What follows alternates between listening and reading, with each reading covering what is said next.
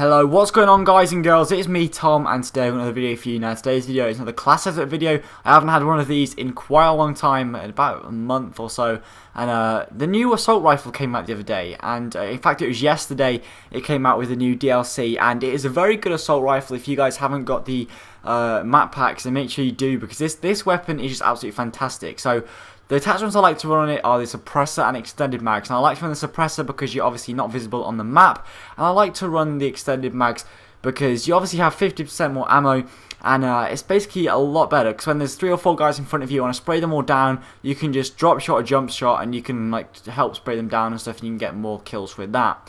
I like to have no secondary lethal or tactical grenade in this because I want to have the ma maximum amount of perks possible when I'm using this gun. Now I like to use sleight of hand, scavenger, amplify, resilience, focus and hardline. I like to run sleight of hand because obviously you can reload faster because when you're when you get a kill and someone right around the corner, you run out of ammo. You want to run out. You want to reload as fast as possible. Sorry, and uh, you can just keep killing.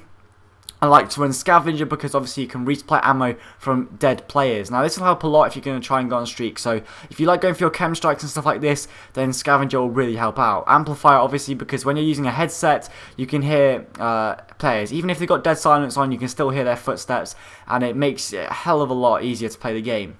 Resilience because you need you I can't speak today. Resilience because you take no fall damage. So when you're in a building and you jump down, then you take no fall damage and you don't lose any health to this guy right next to you. You will not basically get one shot, which kind of is an advantage. Uh, focus because you get less flinch when getting shot, and this is very overpowered. Not many people use this perk for some reason, and it is the most overpowered thing ever. Honestly, it is so overpowered, and I use it in pretty much every single one of my classes now.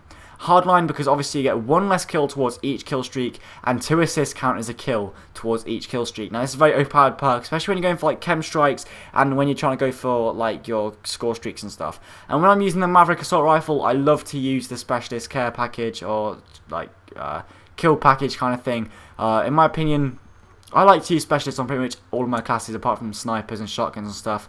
But uh, I, I, don't know, I find it a lot easier because you have a load of extra perks. Like on this class I have 6 extra perks, which is pretty decent. So hopefully you enjoyed this class setup video. If you did, please sure to give it a thumbs up rating. Helps out the channel a lot and subscribe if you're new. And uh, I'll see you guys in future videos. Hope you have a great day. Goodbye.